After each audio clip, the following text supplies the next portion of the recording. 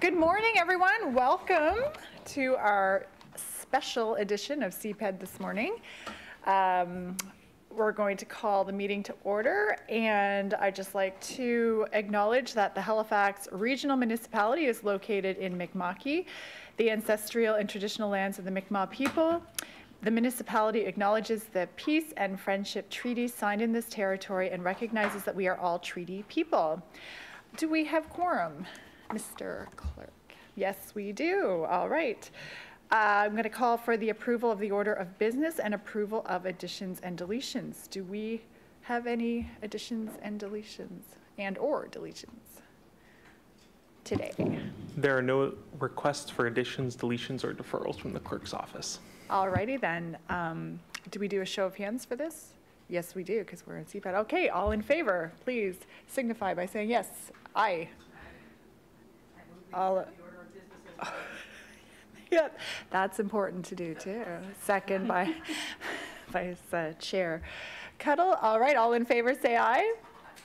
Aye. All opposed, say nay. All right, excellent, thank you. Um, Call for declaration of conflict of interests. No, correspondence, petitions, and delegations. Do we have any correspondence? There's been no correspondence received by the clerk's office. All right, petitions, councillors or clerk? Any petitions? There have been no petitions received by the clerk's office. All right. Now I am very pleased to hand the meeting over to, oh, yes, Mr. Clerk? Yep. Uh, We just have to begin by suspending the AO1 speaking rules. Absolutely. That is under the deletions, additions is- and deletion section oh, of okay. your annotated agenda. It is. Oh dear, look at that.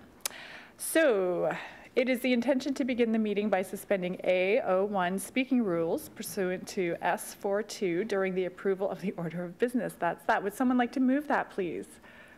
Thank you, Councillor Blackburn, seconded by? Yep, thank you, Vice Chair Cuttell. All right, all in favor, please signify by saying aye. All opposed? Pardon me? Yes, go ahead. Councillor Smith? Why, why are we doing that? I think because this is a special meeting where we have a prolonged presentation, and so we are, um, we are just changing the rules so that we can accommodate the longer presentation. Okay, cool, great, thanks. For our special meeting today. Works for me. All right, Mr. Clerk, are we good to go? We're good to go. Okay, it is my pleasure to introduce our Mayor Savage. Hand over the meeting to you, sir. Well, thank you very much. I, I, this has been unusual, the whole meeting's unusual, but I, I very much appreciate your indulgence and the committee's indulgence, just to say a couple of words. I always swore before I became mayor that I would never be one of these drive-by mayors who comes in and leaves, but I do it all the time, and it's, uh, that's just how it is, and I'm really sorry to do that, because I respect the work of this committee. But I do just want to say a word about uh, the presentation that, uh, that, that I will miss uh, today, and I very seldom want to miss Danny Graham's presentations. Uh, I've had so many of them in my life. Uh, But I want to just, uh, I'll watch it on YouTube. Uh, Our our guests today are- are are known to, probably to all of us, and either by reputation or certainly personally. So Sarah Napier is here with us from United Way, who do such amazing work, and I love to see United Way working with Engage Nova Scotia. So Sarah, it's delightful to see you. The work we've done together, the partnership uh, between the city and United Way on, you know, certainly on housing for the last number of years, it means a lot to us. And uh, uh, Danny Graham, uh, who at various points in my life has been like a brother to me, uh, which means we argue about everything, um, and because we both have troublesome brothers uh, to deal with without each other. So I almost feel like declaring a conflict because of these two, but I think the work they do is so important, so I really do appreciate what they do. I think it's important that um, as the city has taken on this, particularly taken on this uh, challenge and accepted the challenge of inclusive growth that is sustainable, uh, how we measure that is really important. The Halifax Partnership have done amazing stuff and really have put metrics around all of the stuff that they've done. Um, But I think that there's a real tie-in uh, here with the work that Engage does. Uh, I know that uh, Sarah has signed, the United Way have signed an MOU with the partnership. That's the kind of thing I hope the partnership will do with Engage um, as well. Uh, And I know that there was uh, an agreement a few years ago where we would fund Engage $40,000 for each of two years, and on the second year, it would be after some kind of reporting. With COVID and everything else, it kind of got lost um, in a technical term between the jigs and the reels, I think. And so I'm delighted that the vice chair will be bringing forward a motion to reinstate that 40,000 uh, funding. But more importantly, that we work uh, together with Engage, I think our staff, Paul Johnson and now Connor O'Day, I think it is, Danny, who's a lead on, on this. Maggie's been certainly, uh, it's nice to have uh, Maggie in the uh, chair because she's very familiar with the work that Engage has done over the last number of years. And I think that as we look to the future of this city, the two people who speak today represent it as well as, as anybody. And so, you know, understanding where we are, um, understanding how people feel, their quality of life, you know, what, what they feel about the work that we're doing is really important. The work that's happening by lots of orders of government, individuals, organizations, just generally people's lives, and how can we improve their lives and make their lives better. Quality of life is a priority of this city. And so I think this piece today on it that Engage is going to show us, there- there is unbelievable information available that has been collected. And it would be a dereliction of duty if we did not use it um, and, uh, and partner to make sure that we do use it. So I just wanted to say that. I, I uh, really appreciate uh, you guys to, to be here. It's not the first time for either of you to, um, to be in front of uh, council. Certainly, Councillor Hendsbee can be very intimidating, and, uh, you know, we recognize, but I hope you can handle that. And uh, I, I, I wish the committee well today in their deliberation. I had a chance to talk to Lindell yesterday about this, uh, Councillor Smith as well, I think, who's also been very supportive of uh, the work. So I think it's an important meeting. Thank you very much, uh, Madam Chair. I appreciate the opportunity to say a few words. Certainly, Mr. Mayor, anytime. So, thank you so much for being here again. And um, so, just a reminder you have an hour to present to us your amazing information. We are looking forward to it. Uh, so, thank you very much. Uh, so, we're very happy to have Danny Graham, Chief Engagement Officer of Engage Nova Scotia, and Sarah from United Way Napier. Thank you. Good morning, everyone. Thank you, Chair Purdy, uh, Mr. Mayor, and full council, and Deputy Mayor Lovelace. Uh, Really good to see you all, and it's good to see you all in person. It's been a while since I've had the chance to sit in a, in this chair in the middle of council chambers. Um, Just a quick couple of words for me to kick off before I turn it over to, to Danny to go through all of the wonderful content that we want to review today.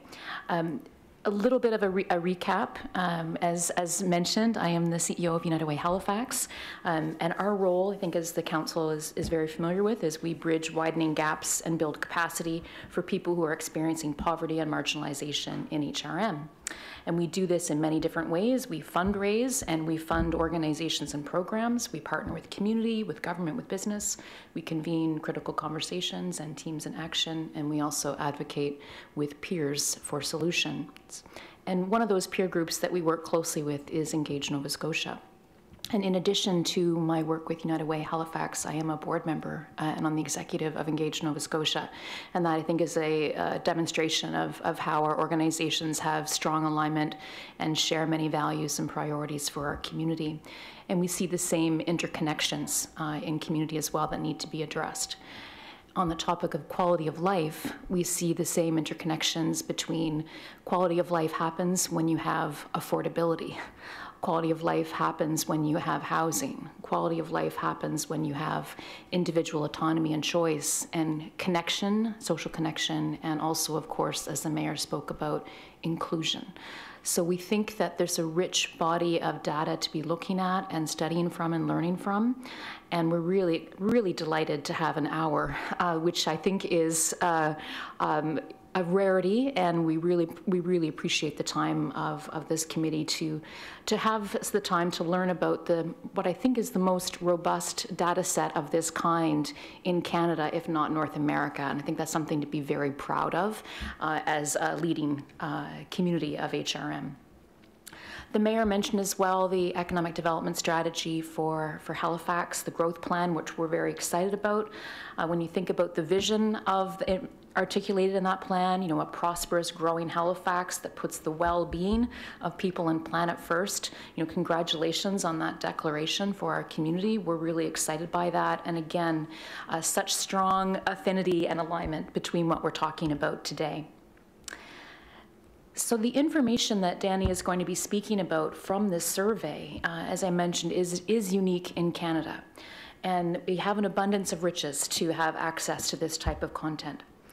Um, you know, when we add the layering of this data on top of information that has been important to the Halifax Regional Council, such as Halifact uh, most recently, such as the Poverty Solutions Report, the Growth Plan, all of this content that looks at talking with people and looking at issues, the layering of what we have for access to make good decisions is, is incredible. Um, and a few of the things that we see as being important to this knowledge set that we have is we can not only um, better understand individual and collective needs, we can identify themes and issues that, that need to be addressed in different regions of Nova Scotia and different regions of this municipality and figure out how to dig, dig deeper on those issues. Um, as mentioned, it can really help to inform uh, decision making, program needs, uh, outreach partnerships, uh, investments, um, shape public policy, which I think is really critical when you have that pulse of how people are feeling and also just help us partner for, for what matters the most um, to all of us, and that's a progressive and inclusive community for all. One of my favorite expressions uh, is, uh, you know, we, we see the world the way we are, not the way it is. And, you know, this, this type of data helps us to, to see the world and see certainly our community objectively and, and broaden our thinking in a way that can really challenge us uh, and excite us about the future. So the question from United Way and the question from Engage, at least from the board, is, you know, how do we ensure we maximize this information for good? Uh, so again, thank you. I, I, agree with the mayor. It's our responsibility to to leverage this information and, and use it for good. Uh, and really appreciate the chance to talk with you today and start our brainstorming process of what this can look like. And now over to Danny uh, Graham to walk us through the opportunity in more detail. Thanks, Sarah. Um, and uh, thank you, Council, for the opportunity for us to share a little bit about what it is that we are um, focused on. Uh, Engage Nova Scotia is a small nonprofit uh, that sits at the intersection of the public, private, academic, and community sectors in Nova Scotia. And we're delighted to have the opportunity to share with you a little bit more about what it is that we've been doing in collaboration with many partners across uh, the province. Um, our board chair, Dr. Gaynor Watson Creed, uh, who was the uh, Assistant uh, Chief Medical Officer, Public Health Physician, uh, would have liked with Sarah as a board member to have been here. But um, we have been incredibly um, grateful for the uh, level of commitment that's been shown across the province and across sectors in the work that we've all been doing uh, together. And I want to say at the beginning, Madam Chair, that uh, the extra time that you've created for us, and initially, I think. Um, when Councillor Lovelace said to me something to the effect of, I love what Engage is doing, can you just bring it more visibly into view for us at council, uh, that really was the impetus for us to sort of say, this is perfect timing for uh, the efforts that we want to um, engage you in. So um, we were just in the last couple of weeks, I've been uh, fortunate to be in the uh, down on the South Shore uh, with the mayors, wardens, and councillors and CAOs of the South Shore municipalities. And last week I was in Cumberland, uh, speaking with the mayors of Cumberland and Amherst about the work like this that is relevant uh, to that region of the province. And we know that as Nova Scotians, there's a leadership role that Halifax Regional Municipality carries, along with the province and other levels of government, including the Mi'kmaq, in trying to articulate what the future potentially looks like for us as a uh, people here in Nova Scotia when I went back in advance of this presentation to sort of the headline issues that you have expressed and some of the questions that you're carefully noodling about an inclusive economy, Um, we were really struck by the alignment that exists, we think, between uh, the work that we're trying to do at Engage and uh, the um, work that council's trying to do to sort of um, focus on something that really creates, to a certain extent, a different uh, and interesting uh, North Star. So I, I'm usually work with uh, Apple Mac products, and I'm going to move to a slide presentation, and I'm going to jump around a little bit. I'm going to go to a live website that exists on our uh, material, and I want to make sure that the technology for this is sufficiently aligned that we can make this happen. So I don't see my slides on the screen just yet, and there they are. Look at that, just like magic. Um, so. Um, I'm going to go to full slide view uh, for this. And maybe this first slide is, uh, or the slide after this is the one that uh, matters the most. You'll see that uh, Nova Scotia is, um, we can divide it in many different ways. We uh, have imagined Nova Scotia in many different uh, terms, but the questions that we ask as Nova Scotians have really been sort of uh, at the center of what a good society looks like. We happen to believe that we are fortunate at a global level to uh, live in a place that is unique in its recognition that life is about more than just dollars and cents, and it includes dollars and cents. Um, and in that vein, back in 2015, we asked questions of Nova Scotians in a survey. On a scale of 1 to 10, we should measure our success by answer one, growing the economy, a really important sort of element of what uh, people were thinking back at the time. Answer two, improving our quality of life. And you'll see that way back in 2015, on a scale of 1 to 10, for those people who answered 7 to 10, the answers actually shone a light on this notion of quality of life that doesn't get measured very much and frankly doesn't get measured particularly effectively. Now, we want to make uh, certain that these two issues of quality of life and a vibrant economy are interrelated ideas. They don't operate in isolation from each other. But what we also recognize is that what we often see as a proxy for progress is that the economy's improving and therefore everything's good. In fact, what we're about to share with you is a little bit of a, that's not entirely so.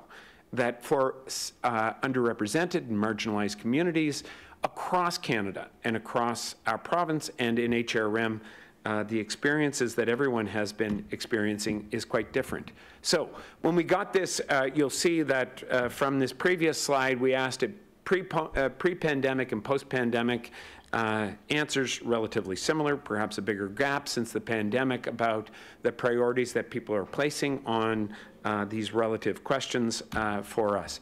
So that gave us a, a, a, bit of a social license, as we call it, to sort of move into this area.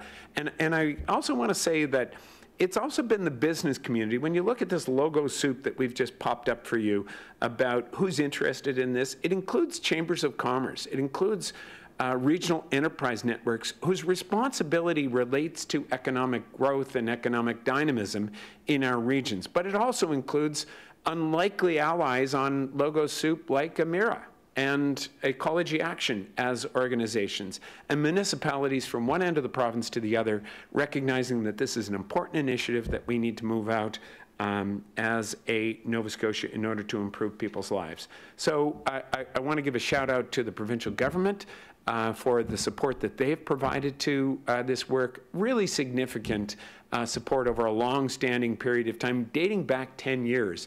This is the 10th uh, anniversary. This month marks the 10th anniversary of Engage Nova Scotia as an organization. We couldn't have done it without support, but particularly from the province at different stages of all of this. And the community college, with its 13 campuses across the province, have been enormous uh, supporters of our work. And CIW stands for the Canadian Index of Wellbeing, which is one of the global, certainly national, leaders on the questions of what makes a good life for us. They're headquarters at the University of Waterloo, and uh, we love everything about what it is that they're doing.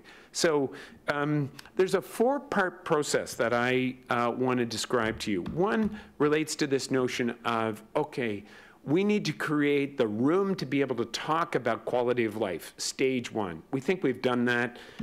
Everyone on this uh, logo soup says this is important, let's do it. Stage two has been for us to create a resource. And so, um, with the support of many of those partners, um, together in 2019, we created the largest single data set on quality of life and well being that exists anywhere in North America.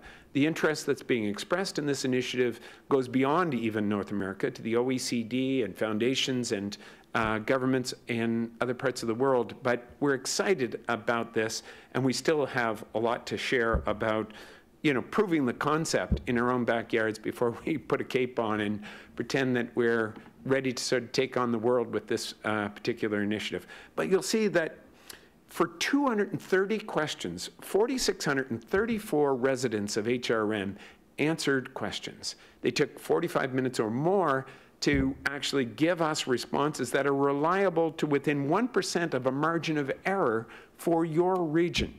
And what we'd like to do today is share with you the stories underneath the data, because data is really just stories that have not been fully expressed. So um, we've created step two, this resource, um, which gives you information that can be broken down uh, by different demographic groups, depending on people's living arrangements, age, income, employment, uh, gender, um, and race, race and ethnicity, uh, more to say about this, but also touches on many of the questions that are contained in what are loosely described to be eight domains of well-being, according to the Canadian Index of Well-being. We're going to go through this in a little more detail because you've been generous in the amount of time that you've given us to talk about all of this. So step one, uh, license from Nova Scotians to talk about this important issue. Step two, the resource. Now, step three is really about harvesting the resource. And this is where, for us, it feels like that we've cracked the ice on something new we know that reports are important, and uh, uh, we have created and on our website exists hundreds of pages for each of these reports. And I'm going to talk about one uh, for HRM in the material that we're sharing in a moment. But so we've created reports which describe the results of those 4,632 people in HRM and the rest of the province. Um, we've worked with uh, the federal government on the United Nations Sustainable Development Goals to create a snapshot, 60-page document that actually talks about the SDGs in a Nova Scotia context. So all of that's on the left-hand side of the page. It's the stuff that typically happens in these circumstances. But the breakthrough kind of happened on the tools side of the page, where we've signed a data sharing agreement, this third area right here, with HRM. But uh, we live in, we often talk about the advantages of living in a province where we have uh, enormous capacity in our universities. Well, that came to bear in this. So with PhD students at Dalhousie and the Faculty of uh, Computer Sciences, we've created two tools that we want to share with you today that are first of their kind anywhere that helps us mine the information underneath the, uh, the results, the resource uh, that we've created. So um, much of what I'm going to talk about for the remainder of this time will relate to those tools. First of all, uh, the first one that you're going to see uh, will be this thing called a Spotlight tool, and uh, more to share about exactly what that looks like. And then we're going to be talking about something called the well-being Mapping Tool uh, in a moment. So and then we'll come back to the slides. We'll have time for a conversation after our uh, presentation is uh, finished. So, um, uh, to the tools. Um, this is a story that uh, I mentioned that there were a lot of questions. Uh, there were a lot of questions. Uh, that we asked of people across those many domains. And I'm going to slow us down and take you through the questions and answers related to uh, this. You'll see that uh, this uh, relates to many different regions of the province, and I'm going to carefully let you see that this is the story of Nova Scotia across regions of the province, uh, with purples representing concerns and yellows representing things that are commendable in the various regions of uh, Nova Scotia. So you'll see Pictou and Cumberland and uh, Colchester and so on, all depicted in all of this. First time this story has been put up about this. Your interests are in the whole province, but predominantly about what's the story inside the region where you, mm, apologies for this failed effort at getting us slightly more, what I can't do, just want to make sure that we're able to get to the other side of my page here. Um, This is something I wasn't able to do. Yeah, turn that bar Which bar? right there. Oh, yeah, Just pull that one. this? Yeah. Oh, wow. Okay, now I know what I'm doing, sort of. Um, so this is the story uh, that I'm going to take you through with a focus in those yellow bars that you see on things that are of uh, particular interest to any municipality. So this is similar to what we've done with other municipal regions of the province. Uh, let's see if we get it right. Okay. So um, hopefully you can see what's in front of you here. And I'm going to take you through the nature of the questions that uh, are relevant. Um, so for, from, a, from a broad perspective, this notion on a scale of 1 to 10, we asked, how satisfied are you with your life in general?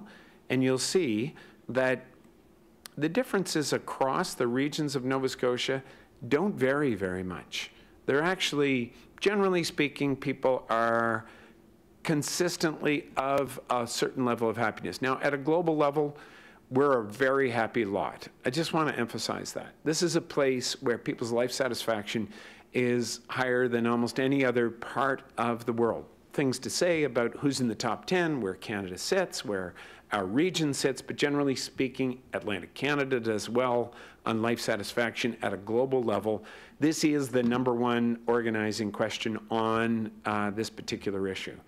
But I want to take, I'm going to take you through the different types of questions and invite you to pay particular attention to those things that I've highlighted in yellow as important municipal considerations for uh, the work that you are uh, doing. So in general, these issues relate to matters, I'm just going to go back because I want to get that, you know, uh, feelings of safety from crime as a um, as an issue. So this is a broad picture that you will see of people's um, social connections, if you will. This is, this is sort of the broad way that we describe this. So are people feeling lonely? Do they feel connected to the community? Do they trust others? Do they feel safe at night? Do they feel isolated? If they had a problem, would somebody help them? These are really important questions. And when we did the examination of this as an issue, it shows up as being something that's critically important, even more important than people's physical health to their well-being generally. So if we were to invite you, and we'll come back to this, I've got a slide that talks about social infrastructure, parks, the stuff that developed Nova Scotia and others are talking about, about bringing people together to see each other, to meet each other, to be in connection with each other. It's actually really important that we create an environment where people are intersecting as much as possible. So, um, the next uh, level of questions generally relate to uh, trust and confidence in institutions. And you'll see that we, it would not be meaningful unless we talked about experiences that people have of a trust in local government. So you'll see generally HRM sort of washing out with the average. I don't want you to become fixated on things that are happening in CBRM. We'll speak to CBRM Council about uh, the differences that show up for them, but some issues related to them feeling connected as a society to the rest of the province actually show up as uh, issues for uh, that particular region. But trust in neighbors, trust in institution, government, media, business, schools, justice, police, all showing up as uh, an important issue. So we know that matters related to policing are important to you as a region. So lots to be understood. I'm going to come back to this on a on a more micro uh, data place where we provided some uh, further research about the experience of women and trust and confidence in policing uh, across your different regions of HRM, but just wanted to let you know that lots of really important and interesting questions. So we know as well that having an inclusive HRM depends on people's uh, self-reported experiences of discrimination. So this particular set of six questions tells you the story of how people are feeling in your region as a whole relative to uh, the issues of discrimination based on ethnicity, religion, uh, sexual orientation, age, gender, and disability. Lots to say, and I'm not highlighting this in our slides about uh, disabilities, but lots to talk about on this uh, particular matter. At a, at a pan-provincial level, um, it, it, there's a saying that I'm going to repeat a few times, and it is that geography matters, but demography matters more. But as it relates to the issue of geography, folks in your region trust and are, have fewer concerns about the healthcare system in Nova Scotia relative to the rest of the province. Generally speaking, there is a higher sense of the healthcare system working here than exists in other parts of Nova Scotia. Lots to say about the different regions, CBRM standing out as strongly the region of the province where people are quite unhappy uh, relative to this. Lots of questions about whether, you know, the, the democratic engagement, you know, have the programs or services of the local government made you better off? You'll see where you uh, rate. Don't obsess about trying to absorb all of this right now. Just sort of imagine what's possible when you receive the Excel sheets that are available now for you to explore on a deeper uh, basis. So environmental uh, questions are also important to uh, HRM. Issues with respect to whether or not people uh, recycle are important uh, to you from for all matters. Uh, whether and how people use transit. And I'm just going to put an asterisk beside this one would expect that people use public transit more in HRM than they do in other regions. So this question is kind of a washout where the need for public transportation is greater in your region than it is in other areas, but just flagging that as a uh, general notion. And then for those of us who are really committed to the notion of the importance of having facilities, rec, culture, libraries, historic places, festivals to attend. We have a really rich number of questions that show up for us here. And with the exception of Antigonish Guysborough, um, there is a bit of an urban-rural split here, where people's satisfaction with the accessibility of facilities is clearly higher in HRM as a whole than it is in other regions of Nova Scotia. So uh, lots to share. You can explore about where those challenges exist uh, generally, but in general, people are happier. And that's consistent with what often happens in urban settings where you have a higher concentration of people and they, um, the, the scale at which you can build facilities is obviously more economical than it is in regions that are widely uh, spread out but it also shows up for access to education. Um, so people's experience of being able to upgrade their education in HRM, again, consistently higher than it is in uh, other parts of uh, the region. And then as it relates to all things tied to um, jobs and work, um, these questions give you a feel for, okay, and, and just note the difference in the shades of the purple jobs and work issues across the province, generally speaking, are consistent uh, for uh, people generally. And we know how much you have gnashed your teeth and worried about issues of um, poverty, housing, and shelter. Um, and so uh, we just want to give you a, a, quick view of the issues related to affordability for uh, Nova Scotians generally across regions.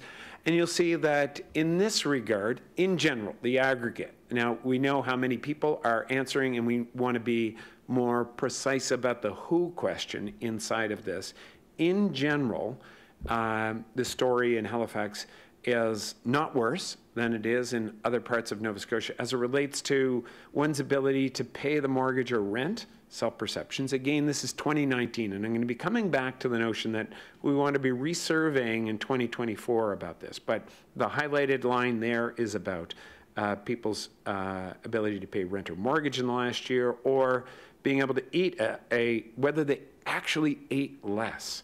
So this is a this is a question that I'm going to shift to in a moment because we know this is critically important. Are people actually in a prosperous province like Nova Scotia or a region like yours eating less? The answer is yes, they do. And it's not about the aggregate, it's about the, it's about the uh, story that they have as individuals because of their circumstances. So just taking you back to, I'm just going to finish this by saying time adequacy shows up. You're going to actually see time adequacy as the ability to enjoy life. Let's just take a moment, take a breath, and consider what, what actually is fulfilling for us as humans.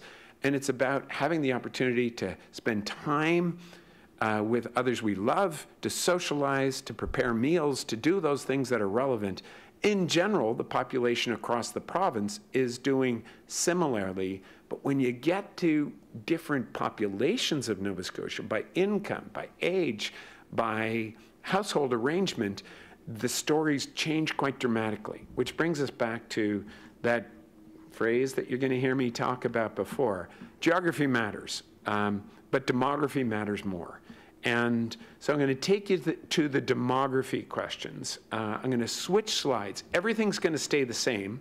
And the first thing you're going to see when I pull up this slide is this, the average experience of people in your region. So I'm going to repeat this slide, but then when I go to these next slides, I'm going to break it down by people's age, uh, by people's different living experiences, and you'll see that these yellows disappear largely. And for people who are experiencing life on the margins, there aren't any yellows.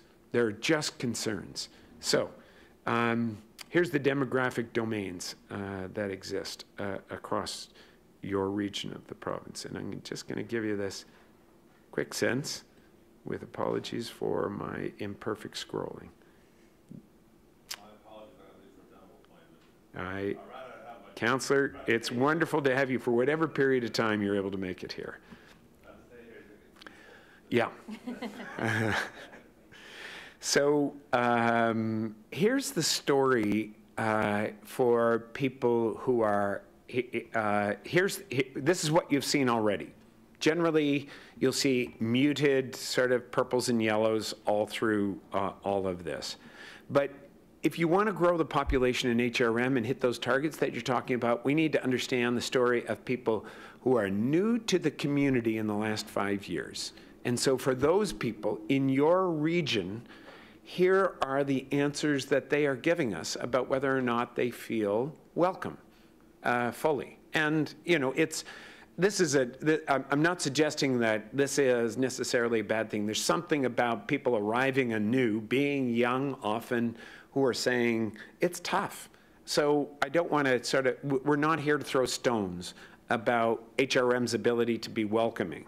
We are, however, pointing to the need for this to be addressed if we're going to grow the population and meet many of the objectives that the partnership and others are uh, sharing about the importance of population growth uh, for you. So taking you uh, quickly through this, you'll see that new to community in the last five years, and by the way, this would be people who moved from Glace Bay to Cole Harbour, and this would be people who moved from Rwanda or uh, to uh, HRM in the last five years that show up in this particular column, column N, uh, that I'm showing here. What's interesting is that they actually use the facilities. Note these yellows that are pour pouring up here. So they, this is our interpretation of what shows up in this column and this column and these, is that they're trying to get out into the community to say, hey, I'm here, I want to be connected more, and they're using your facilities. Um, but there's something about the other experiences of feeling like they belong to it that are a greater concern uh, for them uh, more generally. And then when you get down to issues, uh, just going to focus on this, you'll see that once we get into affordability and the questions that they have regarding the, whether they can afford to meet their needs in society, we're back to the purples. And uh, much stronger purples than existed. All of these above decimal two for sure are statistically significant experiences for new people to your community. So just sharing that that's, that's their life. So um, in the interest of time, I'm going to speed you through these other sort of demographic uh, profiles of people in your region. And again, with apologies for my scrolling, whoa, big apologies. Um, I'm going to take you back to the big story. And that is that um, here we, we, we've got this broken down based on housing, uh, older adults, uh, disabilities, and many other issues. But um, we just shared with you the story of people who've arrived in HRM for the last five years. Um, look at the experiences that are had by young adults between the ages of 16 and 30 in uh, your region. And I'm just going to scroll down so that you see lots to pay attention to about them not feeling like they're part of the community. This is the all the pink stuff here. They are not particularly feeling like they are part of uh, HRM society uh, on the whole. Again, they use the facilities. I'm just going to go to the facilities questions. You'll see the yellows showing up. So they're trying to get out and be part of the parks and recreation and various other things. But as it relates to here are things for young adults in your region, they are saying, don't feel like I'm, I feel alone, lonely, no sense of belonging, don't feel that government works for me. I'm struggling to um, be able to put food on the table, pay for rent. I'm just going to go to those issues. Look at those, these deep purples that I'm just highlighting here. This is, these are the questions of young people in your region on the questions of affordability. So really striking things and even time adequacy. So flexible work hours and related issues. Really a time pressure uh, that they are feeling. Um, so uh, won't go into this in finer detail, but for people with household incomes below $40,000 and for families being led by, and I really want to be careful about the language that I use at least related to this. These are leaders. These are these are families that are being led four times more likely by women than men, five times more likely to be renters than owners who are experiencing challenges that we need to get on top of uh, if we're going to have the inclusive society that we want for single parents and, and as importantly, the children who are part of the families that are being led by single parents. So all of this is available to you uh, to uh, consider as an HRM as a whole kind of uh, issue. And it's this, this information, frankly, is not available to any other municipality of your size in North America. You've got it. And we hope that we are now able to work with it to bring about a more inclusive uh, HRM as a whole. But it's not just, it doesn't just uh, rest there. We are fortunate that with, I mentioned Dalhousie and the amazing work that uh, we've been able to do with the um, Faculty of Computer Sciences at Dalhousie. And, you know, shout out to um, uh, Leonardo Christino, who moved here from Brazil and is doing his PhD at the Faculty of Computer Sciences, and his mentor, Fernando Paulovich, uh, at the Faculty of Computer Sciences, and Taylor Hill, all parts of our team in this effort that we're doing through a Mitacs agreement uh, with Dalhousie to make this possible. They've created this tool that really starts to crack the nut at a more granular level about the story that exists inside of Nova Scotia. So we don't have enough time to go through the hundreds of questions and the 50 different regions of the province where we've got lots of information loaded in, but I'm going to take you just to one. Uh, but know that there are hundreds of questions that are possible for you to explore. And the one that I think I'm able to find here, apologies if I can't quickly, relates to the story of people's experience, perceptions of safety and trust. So there's lots of questions that uh, this is this is available on our website and and city planners from HRM joined the launch of this a month ago on May 31st at a conference where there were 170 or so people who were all mapping people who got really jazzed up about what we've been able to create in all of this. Again, many from your region. And uh, we showed them this tool. So of the hundreds of questions, I'm just going to one, and it relates to the question of how safe do you feel when you're out alone in your neighborhood after dark? Uh, so an important question, obviously, from an, a municipal perspective. I'm going to continue to click. Apologies for the speed of this. And you'll see that very quickly we have something that gives us a feel across many postal codes of Nova Scotia. This is all these postal codes that are going to be uh, considered across Nova Scotia. And with a small click of a map, this is available again for residents in Nova Scotia right now. I'm just going to click on this uh, Atlas Globe something, and you'll see that um, the story for Nova Scotia as a whole shows up where, generally speaking, people feel very safe, 39.7 in the province as a whole, and 22.3 feel safe generally. So good news that's operating across the province for this. But we really want to understand this story at a more granular level, and especially for you in HRM. And uh, that allows us to go to this map, and I'm just going to shrink it down and say, okay, we know the story for the province as a whole. What's the story in your neighborhood? So this is, Pam, I see you smiling, because this is, this is part of where uh, Deputy Mayor Lovelace's uh, questions came. HRM is not a, a monolithic something where the experiences in every one of your districts is exactly the same. It's actually a tapestry of many different stories that we're granulating to uh, stories that show up uh, differently uh, across your many regions. And so um, this hopefully gives, it's, it's the broad picture of HRM. And you can see that as we click on the different postal codes, so this is the, still the question of how safe do you feel when you're out alone in your neighborhood at dark. And we can scroll around and see the stories that are peninsular, uh, B3K, B3H, and B3J clustered together.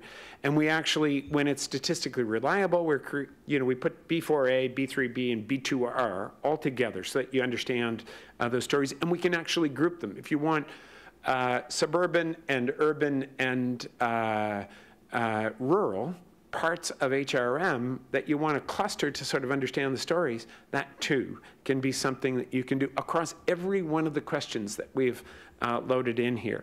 And for those who are geographically challenged, uh, and want to see through map transparency where in Dartmouth, Bedford, uh, Sackville, and other regions of the province we see this. There's a fancy pants um, device that gives you a feel for what this uh, potentially looks like. So that's the tool. That's that's a. This doesn't exist uh, also anyplace else. And uh, it's, it's not a place uh, so much as pride as gratitude that we have for the brilliance that exists in our universities and the relationships that we've been able to create through Mitacs and others that launch this and give you new information that gets you back to a place of, okay, I want to make a difference in my home community and really try to uh, uh, do something different. So, um,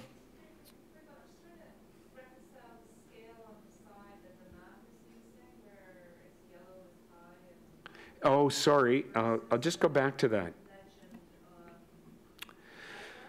Yeah. So um, th this answer is uh, so the question is here: How safe do you feel when you're out alone?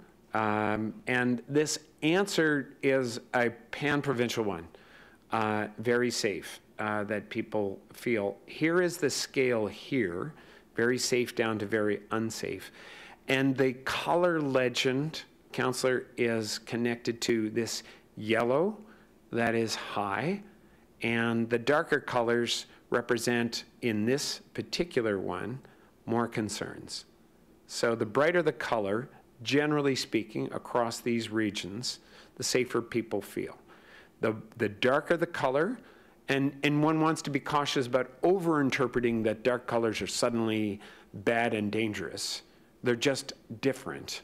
And so we want to highlight the difference as opposed to the magnitude of that difference. That requires further interpretation. These are sensing tools that give us a feel for it. So don't, when you, if you go to your district and you see a darker color than you might see in other regions, what you're able to say is, it's different in my region, and how statistically significant is it different is something for further analysis by staff or others about what shows up in all of that. Does that help? It just, I was just getting confused with the yellow and the, the green, the blues and the Yep. greens. Got it.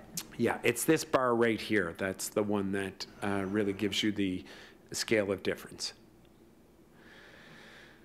Okay, uh, back to the sort of a- an attempt to summarize and uh, meet the time uh, at the right uh, hit associated with this. Uh, You may be wondering about what's the story of uh, underrepresented marginalized communities uh, inside of this. And so just to let you know that in, when we were uh, advancing this survey, we identified communities of people who historically, and for good reason, don't trust and commit themselves to answering surveys. Young people, 2S LGBTQ uh, communities, African Nova Scotians, the Mi'kmaq, and uh, people who are, have low incomes and so, that sort of thing. So we made an extra effort through various means, happy to describe what that is, to um, understand and build the trust uh, for this. We're resurveying in 2024, and, and if there is a success variable that we're really wanting to hit, it relates to wanting to increase the participation from those underrepresented marginalized communities. And at the same time, we feel that we've been relatively successful in the efforts that we've done to make that happen. But we're also working on a, for communities that have been burned in the past, a bit of a nothing about us without us kind of mindset. So we're working with, for example, uh, the uh, African Nova Scotian communities of Nova Scotia in partnership around here's what we found. Here's what that spotlight that you've just seen disaggregates for you, which points to things that don't surprise the community, but still need to be fully understood in order for the community to feel like they are partners in this instead of it being done to them, for them, separate from them, and making this happen. So lots of work to continue to advance in uh, making that happen. Excuse me, presenter. Uh, Through you, Chair, to the councillors, I just want to remind you that we will have 30 minutes for questions after the meeting. And presenter, you have 15 minutes left. I don't think I'll need all of that. So we'll have all of the time that we uh, need. So just wanted to point to that. More to say on the underrepresented and uh, uh, related communities, um, if uh, that's of interest to you. And you might be asking, okay, how does HRM compare to other large municipalities in uh, the country? And so if quality of life is intuitively a differentiator for us as a region, can we say that? Is it demonstrably so? And uh, frankly, that's for further analysis at another time. But we used a number of years ago StatsCan information about uh, quality of life for urban settings in Canada. Uh, and we disaggregated 14 different regions of, or 14 different regional municipalities essentially across Canada. And um, HRM does well. Um, so of those 14, it was almost tied for second with Ottawa and Quebec City being the first of those uh, larger municipalities where quality of life was something that people in those regions expressed to be something that's relatively high. There is another story as well, and that is that globally, in Canada as well, um, life satisfaction is higher in suburban settings than they are in urban settings. So what's something unique about HRM is that there is that rural, suburban, and urban sort of mix. And we're not sure what it means, but it amplifies the importance of getting more granular in understanding what is it inside of HRM that's really happening that needs to get uh, improved over time. So generally speaking, the last analysis that we did, happy to do more, and this is relevant to the priorities. If the partnership is standing up subjective well-being, which is really the measurement that they're talking about around quality of life. You remember population, uh, economic growth, and quality of life are the three sort of standards that they've shown. And uh, so we've been working with them to help understand how do we make sure that quality of life is something that continues to rise. And it doesn't just rise with those of us I count myself amongst them, who love this place and enjoy the advantages of it. But there are questions that we're holding about the gap between, to use Alexander Keith's term, those who like it, like it a lot. I'm amongst them.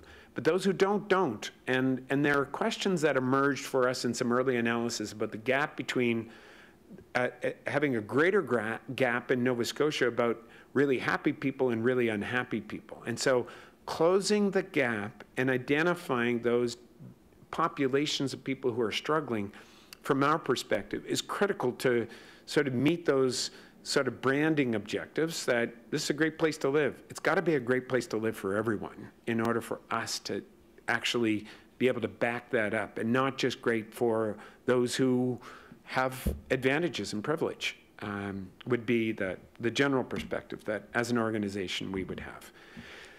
Um, so we've done um, some, uh, we, have been fortunate to have partnerships all across the province by sector, by geography, and elsewhere, HRM being really critical to all of that. And so we have been working with engagement activities at a pan-provincial level in regions. We've been working in classrooms with universities on research projects. We've got research projects. Just this week, we heard from the University of Waterloo that was, they just published a paper on our data for Nova Scotia about the experiences of older adults and their challenges related to social isolation tied to our data. So you know, a, a university in Paris uh, did work uh, on uh, the information uh, related to this as well.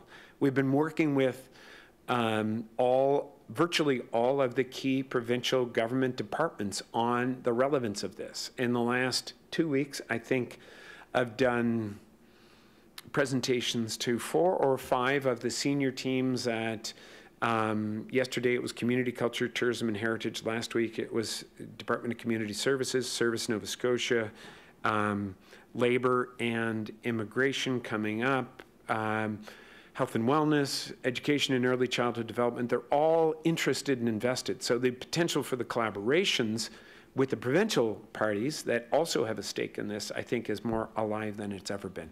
And we're fortunate this SDG project that we uh, have done tied to global objectives, 17 goals uh, related to making literally a better world. For contribution agreements, 300 applications. This is going to sound proud, but I, I, this is uh, a nod to our team that uh, helped create the application.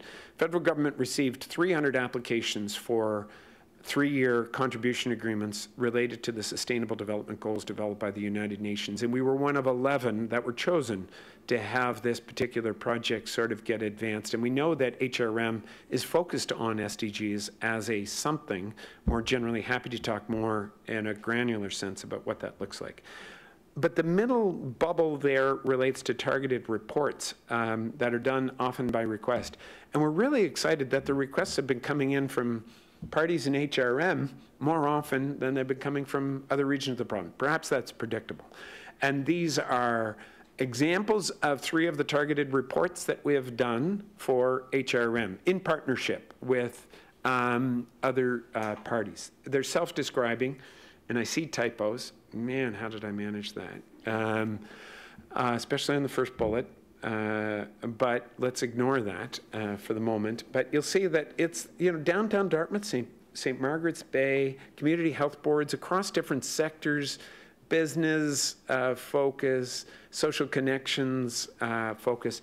But this last report, and this is a nod to, again, uh, my colleague Taylor Hill, who I mentioned earlier, who's our research coordinator. And when um, uh, HRM staff said, Can you tell us a story from your information about the story of women around a variety of questions in HRM?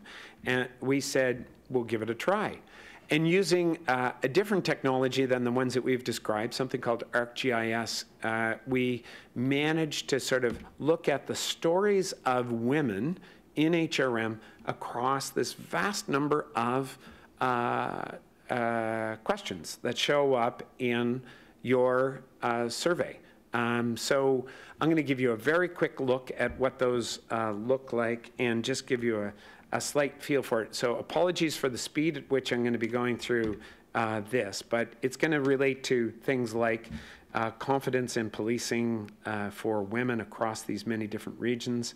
Um, here's the here's the report, and it, this is available. It's in the materials that you've received, and that table of contents that I mentioned a moment ago is right here. Um, but you'll see as we scroll through this that I'm going to go a little quicker. I'm not going to do this track button. I'm going to say, okay, we've got stories that relate to feelings of social isolation for women across these many different reasons Fall River, Sackville area, Bedford, Halifax, Sambro.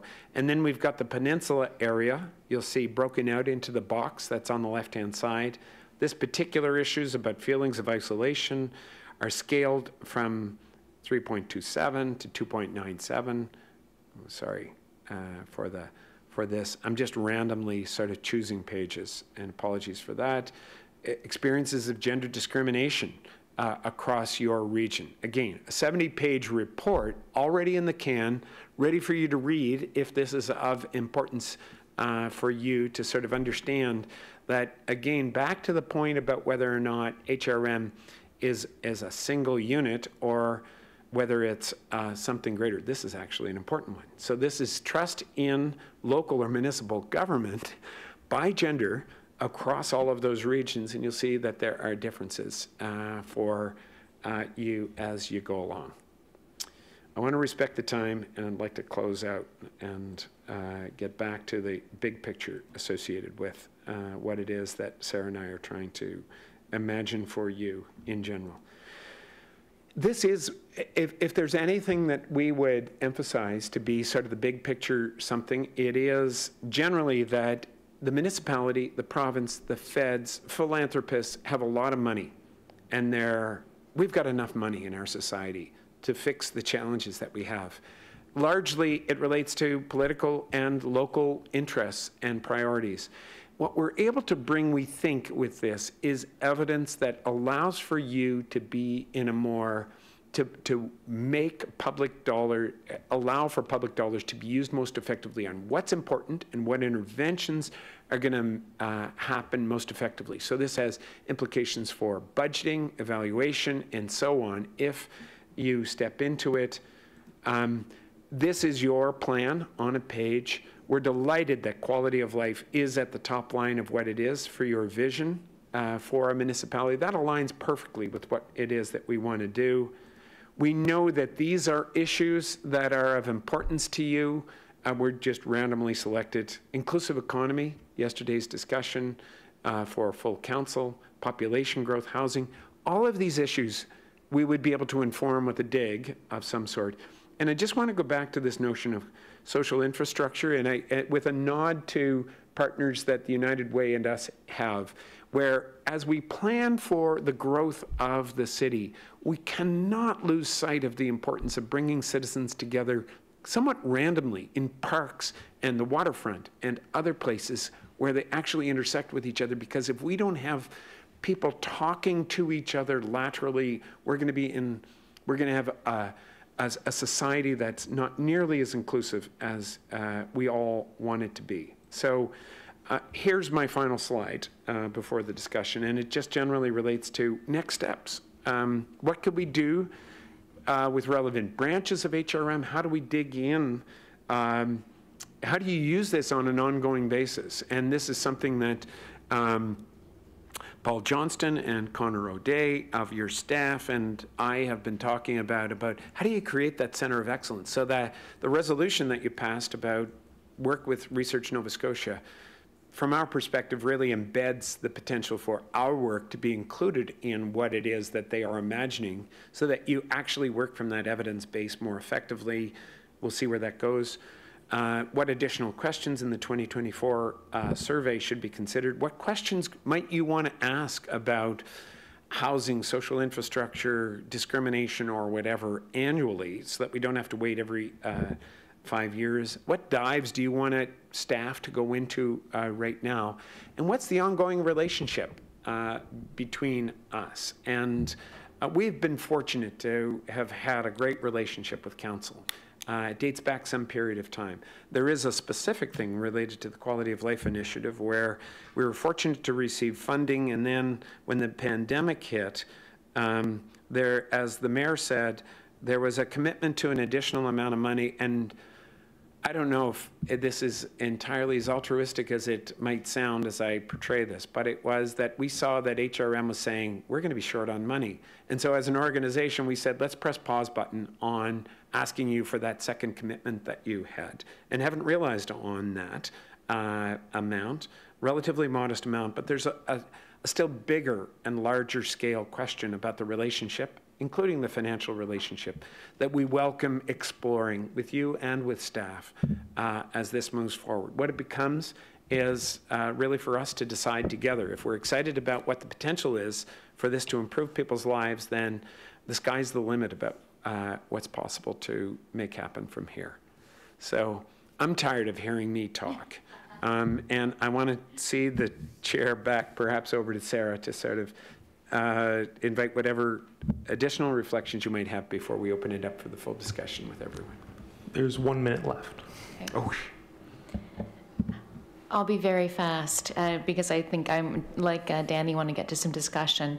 The only point I wanted to say is I think the information speaks for itself, right? You can. There's a lot there to unpack, and the only other comment that Danny made about uh, feeling gratitude for the community that we're in, that we're able to have this information, and he said, I didn't, didn't want it to be pride. I think it's okay to have a little bit of pride about it too. And so I, I just wanted to lean into that comment that this has been a unique collection of individuals uh, from community, from government, from our educational institutions who have actually created the conditions to support an organization like Engage Nova Scotia to make sure that we actually have this. And I think it's it speaks to who, who we are and what we believe in. So I think a little bit of pride is a good thing, um, especially if that helps to shine a light on the amazing place that we live. Thank you. Awesome. Thank you both very much. Fascinating information. And we have speakers on the speaker list. So go ahead, Councillor Blackburn. Thank you very much, uh, Madam Chair, and uh, thank you so much for this. If uh, you could indulge me for uh, some unparliamentary language, that was friggin' amazing.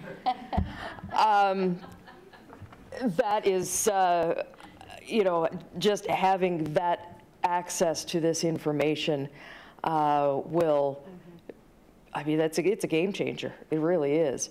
Um, I do I do have a few questions. Um, first of all, love to have uh, Engage present on that 73-page uh, women's study to our Women's Advisory Committee.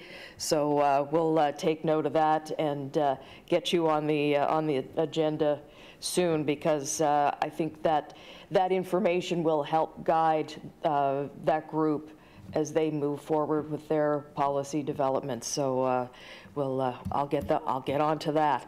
Um, the uh, speaking of, uh, of, men and women, the uh, the online tool that you showed us in particular when you're discussing uh, the the safety. I know it's broken down in postal codes, but as you said, geography matters, but demography matters more. Is there also the opportunity to break that information down, responses from men and women? Yes, okay, perfect.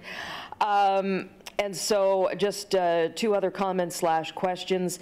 Uh, so this data set, uh, the questionnaires, this was done in 2019. So now, while you guys were crunching those numbers, the world flipped upside down. Um, are you expecting to have uh, a lot of changes when uh, you do this again in '24. Can, do you still stand by the 1% uh, margin of error uh, allowing for the, uh, the pandemic? And my second uh, question, comment is that, uh, you know, we worked so hard to keep our young people in HRM. I know that that was a, uh, a personal goal for, uh, for Mike, for Mayor Savage. Um, You know, but given the results and the data presented here today, are we on the verge of losing them again? And uh, that's, those are my two comments, questions. Thank you. Uh, Thank you, Councillor. Um, First, as it relates to the pandemic, uh, we've been in regular conversations with our uh, partners at the Canadian In- Index of Wellbeing, and what they have noted when they have, they have done this work um, a, uh, probably 15 or so times across the country. The rate of response in HRM is the highest that they have ever received from a municipality. Uh, Just want to record that. Um, uh, So this notion that quality of life as something that people will respond to is, I think, deeply in the soil of our residents. Um, What they've noted since the pandemic began is that the patterns generally about the populations of people who are, um, who have been falling behind and slipping between the cracks remains generally consistent. Uh, And so, but the magnitude of the experiences that people have are greater uh, after the pandemic. And so life satisfaction has uh, dropped significantly across Canada. And a, a couple of issues that are, we're paying attention to um, relate to the following, that as an aggregate, if, and this is a conversation we've had with uh, the provincial government, but it's obviously highly relevant to HRM more generally. It is that um, if there were five bell alarms that existed before the uh, pandemic, the number one one was self-reported mental well-being. And it's, uh, what we hear from our partners at the CIW is that that's not surprisingly taken a significant hit. Affordability was the number two issue. And then the third one, and it's why we're, you know, you might be familiar with work we've done around Share Thanksgiving, Do a Thing, From Me to You, these small projects that we've been doing to try to create social connections. Mm. All things related to sense of community, sense of belonging, loneliness, trust in others, trust in institutions. If we could emphasize anything to council and public leaders, it is that that requires attention. And it might seem soft, and nobody's been talking about it for a long period of time, but bringing people together is going to be really important. And there were some studies done after the Spanish flu 100 years ago about what needs to be done by a Swedish uh, person. He's- They said social connections, bringing people back together is critically important in those first five years after the pandemic that happened before. We think that's going to be important as we move forward. So generally, we are going to be resurveying in 2024 um, with the support of our partners, and we will see how much things have changed. We think that the story for uh, older adults in Nova Scotia probably has changed because of their living circumstances. Generally speaking, they were, uh, um, I don't want to sound glib, they were a happier lot uh, than younger people. Um, But they've been isolated for a- a- more intensively than others. So there's a concern that they have dropped more precipitously uh, than others. As it relates to the young people, um, that pattern is consistent with what StatsCan is producing about the concerns that exist amongst young people. So if anything, I think that we have the potential to be a more attractive place for young people over time. But we just need to sort of reflect that we're prioritizing the things that they are struggling with in order to ensure that they stay here uh, and come here more often. Beautiful. Thank you so very much. Thank you. Uh, Go ahead, Vice Chair Cuttell.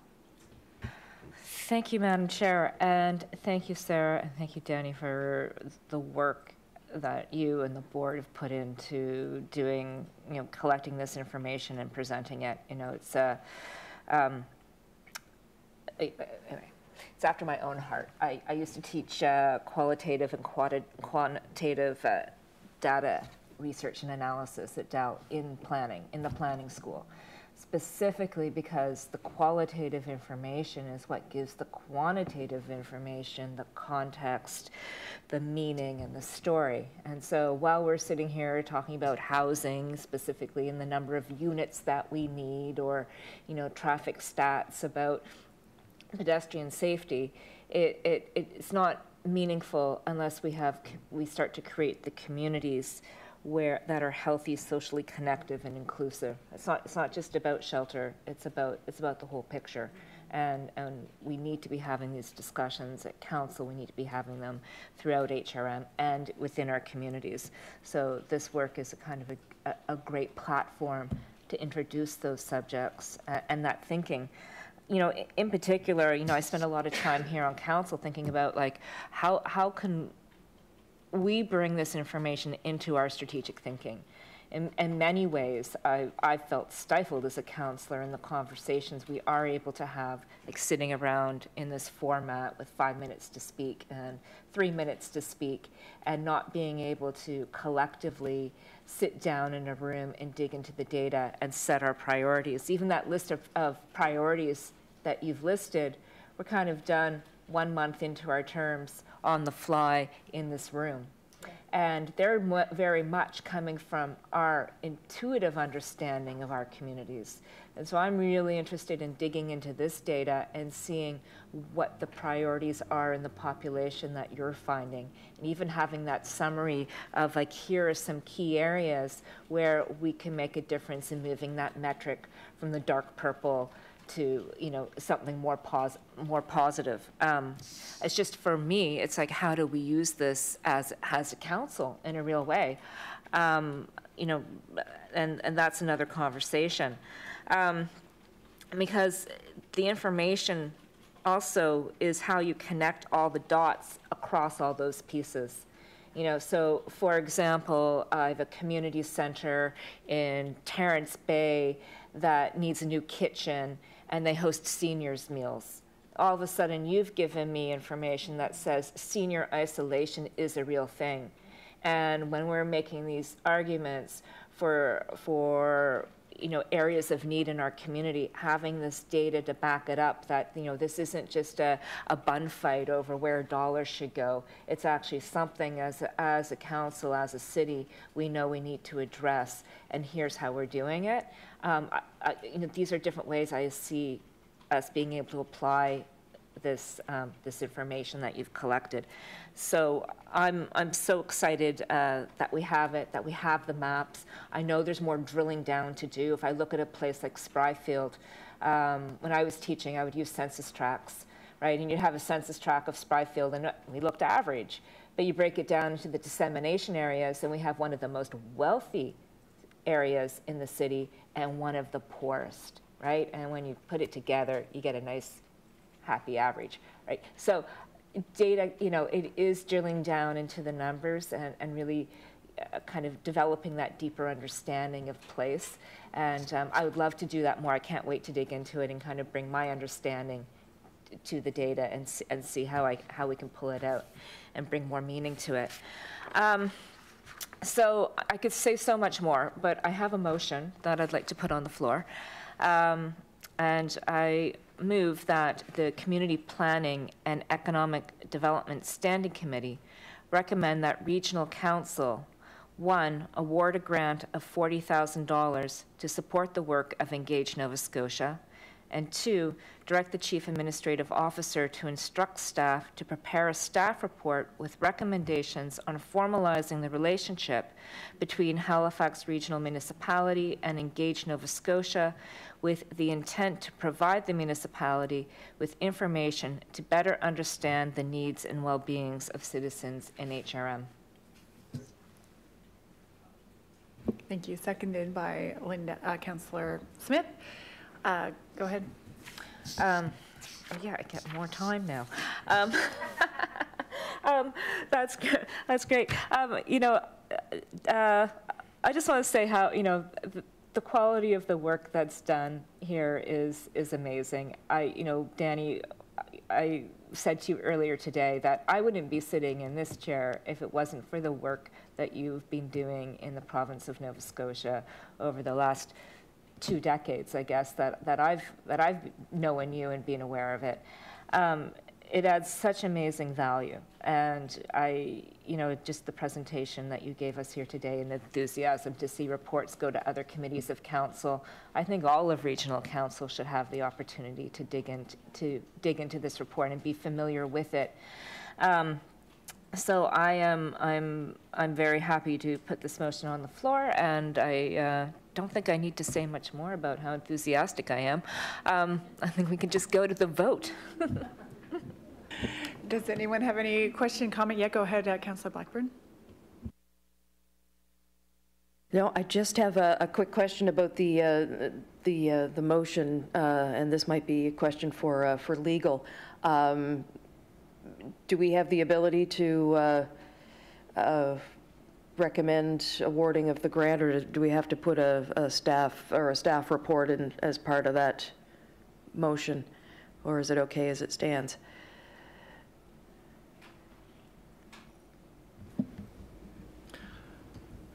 Uh, Madam Chair, through you to the councillor, I'm just going to look at AO1 uh, with respect to that. Um, uh, There is a request for a staff report there, Um, but with respect to the grant, um, as we know, budget's already uh, finished, so Right. uh, the question is, um, it may have to go to audit and finance.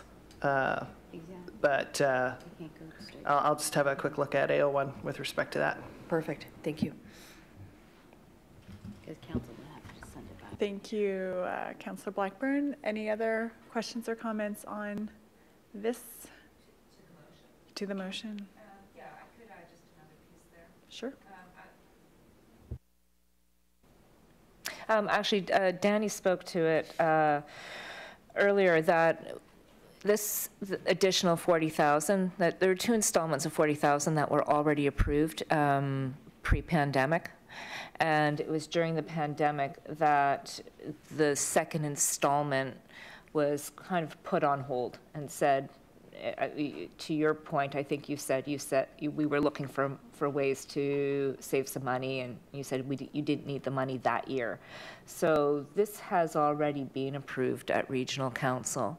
Um, It's just putting it back on the table to say, let's, let's um, honor our commitment and, um, and award the second half of the funding we had already approved. Okay, thank you very much, Vice Chair. We'll just uh, wait for legal to come up with a recommendation with that.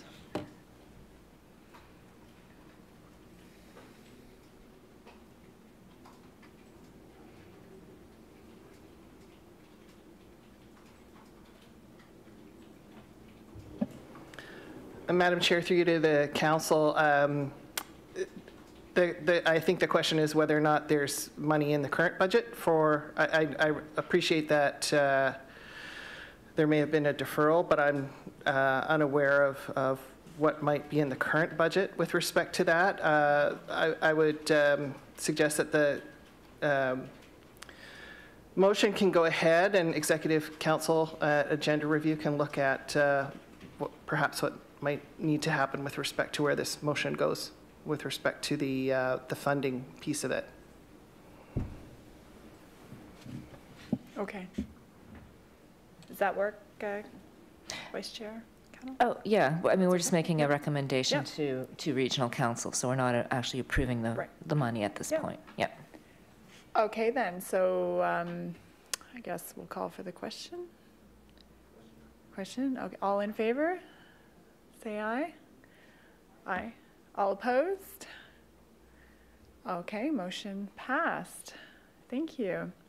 And we will move on to Deputy Mayor. My turn. Thank you. Thank you so much. And thank you, Madam Chair, for, for giving me the opportunity to speak today. I appreciate that. Um, I am just going to pull up my notes because as you were presenting, I was, of course, typing madly so that I could capture as much. Uh, So we met, Danny, uh, I think it was 2014, uh, when we did uh, Engage Nova Scotia had step-up events across the province. Those are great opportunities to engage citizens in municipal government, in their community, to understand, um, you know, what it meant to be engaged. And these are really important conversations, uh, you know, and we had all ages at these events. Uh, people from throughout all backgrounds coming and talking about what they loved about their community, what they what they struggled with in their community. So, you know, fast forward to this survey, um, this data is phenomenal. This is an excellent opportunity right now. Huge shout out um, to Mitacs and the work that they've been doing. Um, you know, this is the, we're setting a bar here, uh, really, for the rest of the country. And uh, I am excited, actually, and, and uh, Councillor Smith, I'm not sure if there's an opportunity to bring this to FCM as, uh, as a learning tool, um, but uh, for the Federation of Canadian Municipalities to say, hey, guys, look what we got. um, because the, way that we could integrate policy uh, approaches and policy development from this data, understanding the story of our communities, is exceptional. This is, this is a great opportunity. Um, when I saw the numbers very quickly, and I was looking at, uh, you know, the ages, 16 years and above, getting 16-year-old, uh, 17 and 18-year-old students to have their voices heard, that's very powerful, especially since they are denied the right to vote, right? And so, you know, it's this, this is a tool that we could potentially use to push uh, the provincial government forward to give young people the right to vote. And also, you know, every opportunity I have to also talk about the importance of um, permanent residents as well to have the right to vote. So thinking about, you know, those those newcomers and they're not feeling so welcome, right? There's this overall um, uh, barrier, and that is what I'm hearing on the street. You know, the uh, depending on where they are in the municipality they don't necessarily have the opportunity to feel welcome. Um, and so some of the uh, nonprofit groups or some of those neighborhood community groups need assistance, maybe, or need some help um, in, uh, in crossing some of those cultural or, or language barriers. Um, so just thinking about ways that we could take some of that data and ensure that our racialized communities, um, Muslim, Asian, Indigenous, et cetera, have that opportunity to um, to, to, to breach any of those barriers so they do feel welcome. Um, the United Nations SDG count. Wouldn't it be great if we had a tool to reflect how well we're doing? I'm looking at you, Sarah. I think that that, you know, being able to, for the United Way to say, hey, look, this is, this is the work that we're doing. Here's the United, United Nations Sustainable Development Goals, and this is how we're moving that bar forward. That would be awesome. Um, and for the Women's Quality of Life Report. I will be at that advisory committee meeting. Uh, Councillor Blackburn would love to, to have that report um, presented. And just thinking about ways that we could um, bring this data to life and into the community. Um, you know, this is a just a, just an idea that I've been flouting and, and looking at how we can bring, uh, you know, racialized women, um, women from all backgrounds together to celebrate Persons Day in October. And wouldn't it be neat to have some of this data reported to help people understand here's where the barriers and challenges are, and there's the gaps, but here's the opportunities, right? So we need to flip it towards where are the opportunities so we can create that action plan to make sure that women, um, you know, and community groups and government have the understanding of the context to be able to build that action plan. Um, the other thing I would love to see is a presentation to the African Nova Scotia Road to Economic uh, Prosperity. If that hasn't already happened, let's get that going. Um, and also, uh, service providers, in particular, police. You know, when we get the data from police, we don't have the context. We just have numbers, right? Here's how many, you know, um, criminalized uh, activities, whether it's assaults or, um, you know, breaking enters and so on and so forth. We have that information. But that doesn't tell the story. It's just numbers. There's, there's no context behind it. So I would love to see our um, police services actually have an opportunity to learn more uh, about the story behind the numbers, um, in particular those communities. And so when I look at at um, I love this map. This is this is my new favorite website, Danny. so it's, it's great to play with and uh, and and understand um, you know where the communities uh, need help uh, to feel safe. And so taking this information and ensuring that it's embedded within the public safety strategy that we are beginning to, uh, to put together, um, you know, for this next phase of our public safety strategy. We have to make sure that we're taking this data and fully utilizing it so that we can tell the story and make this a better community overall. So shout out to you, thank you. And I think, um, I think there's uh, just so many alliances uh, that that we can that we can build moving forward, and lots of other community groups that you know that need to be able to have access to this, so that as they're building their plans and they're building uh, their community, that they feel fully engaged, to be empowered uh, to step up and uh, and engage. So thank you. Thank you, Deputy Mayor. Uh, Go ahead, Councillor Smith. Thank you, Chair, and thank you both for coming today. I don't have to echo much of what my colleagues have said because I, uh, I agree. So um, I'll just go to questions. And we had an opportunity to, to sit down and get a little deeper in, into the, the tool and in discussion pieces. So I'm, um, I'm good there. So my two questions, one is, uh, we talked a little bit about it, but it'd be good to maybe talk about it more publicly. So one was like the scalability of this and, and how other municipalities, cities, counties, whatever it might be, could potentially have access to to this this tool and in, in I guess even process. And you know, my hope is that this could be a this could be a revenue generating opportunity for Engage because I think I think cities across the country, not not even, or maybe even the world, would love to be able to ask these simple but never ask questions. Just like how how is your quality of life?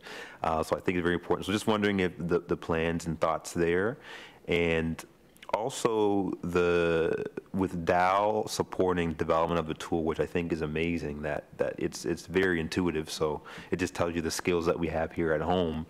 Um, how do you envision um, the ownership of that aspect um, uh, of the tool? Is is it 100% engaged? Is it in partnership with Dal because they helped develop the tool?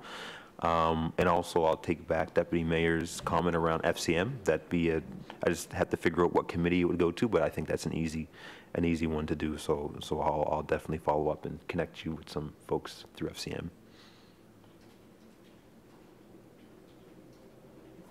Maybe I'll just uh, touch, I'm going to start with the second one. Counselor Smith because there are two spellings to Counselor Smith that could be considered here, and the one with the E-L-O-R is the legal one that I, you surprised me with uh, about the ownership of the intellectual property associated with this. So thanks for that question. It's really an interesting one, and I'll just touch on it as it relates to, and, and it does relate to the scalability question. Um, uh, the conversation that we're building out with Dalhousie is continuing to become a more robust one. Um, as recently as in the last uh, week, I've been speaking with the president and with the provost, the VP academic, about what's the deeper, broader relationship that has national implications to what it is that we're doing, and is there a center of excellence potentially that Dalhousie could be more embedded with that builds on the strengths that the Canadian Index of Wellbeing, they're at a university currently, University of Waterloo, could build on. Not, not sure where those conversations will go, um, but the ownership of the intellectual property question is one that we are, as a board, um, uh, focused on right now. And uh, we believe that uh, there's this tension that we have, where on the one hand, this is about the greater good. So we don't want to be protective in a way where we're commercializing something that we hold so closely that it doesn't expand to the benefit of the wider population. And at the same time, we don't want it to be abused um, or misunderstood. So we're in the conversation about the degree to which we are able to sort of scale this up and not have it overtaken by parties that really don't understand it and worse, could have um, nefarious kind of intentions behind their being attached to the, um, to the data itself. Um, the scalability, I'm, I'm, I'm delighted that you see that as a question, and this is something that um, Sarah Napier has been pressing me about at the board level, where it said, this is, you know, and, and I described it at the beginning as a four-step.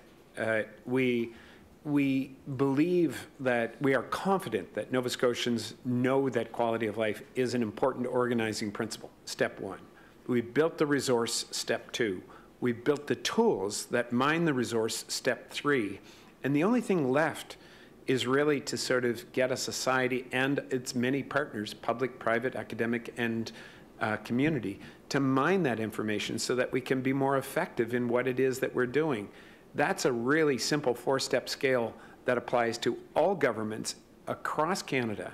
Um, and uh, we think it is applicable, and we've been in conversations, we've been uh, flattered by the attention that we've received from Statistics Canada, Department of Finance federally, Treasury Board federally, um, Public Health Agency of Canada, um, and what we've said back to them is that the, the greatest relevance is probably at a federal, provincial, territorial level and municipal level, so FCM uh, as well, where we're able to say it's not rocket science. There, there, there are concerns with sort of thinking you just take something and you load it into your system and you think it's all going to be good. There's a lot of um, there was a lot of difficult work in iterating towards what pieces of this fit that will serve us well.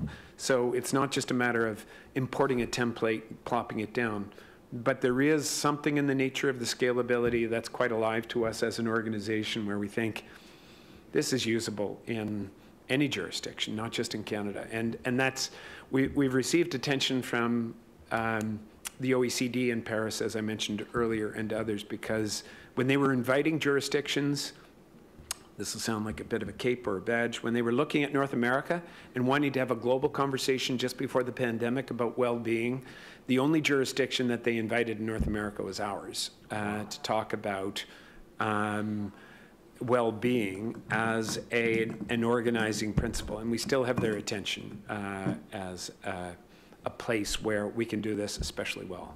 Wow. Thank you. All right, thank you so much. That was an amazing presentation, uh, incredibly informative. Thanks for the questions, colleagues. It was excellent. So thank you again, Danny and Sarah. We appreciate you coming in. Thank you for the extra time. Our pleasure. Our pleasure. All right, colleagues, it is now time for a motion to go in camera. Thank you. Seconded by? Yes, thank you. All right.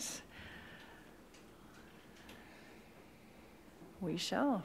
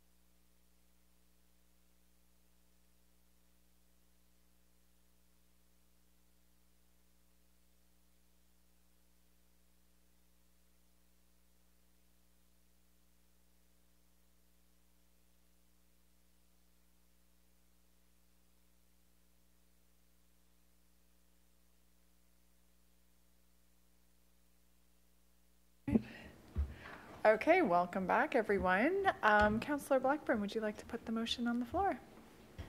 Thank you very much, Madam Chair. I move that the Community Planning and Economic Development Standing Committee, one, adopt the recommendations as outlined in the private and confidential staff report dated May 18th, 2022, and two, direct that the staff report dated May 18th, 2022 be- be maintained as private and confidential. I so move. Excellent. Seconded by Councillor Smith. All in favor? Aye. All opposed? Motion passed. Okay. We uh, are done. Can, we, is that correct? Oh, do I, public, public participation? No? No, we, motion to adjourn. Thank you very much. All right, thanks so much, everyone. Have a great uh, summer. And I don't think, do we have a meeting scheduled for July? I don't. We have seven. It is? All right, that will, we will wait and see on that one. All right, have a great Canada Day. Happy Canada Day.